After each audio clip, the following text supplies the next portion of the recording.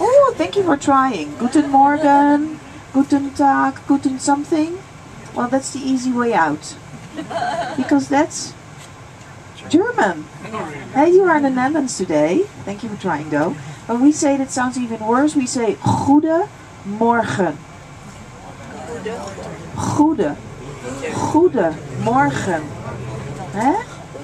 We will practice more Dutch later on. No worry. You all have a sore throat at the end of my tour. Huh?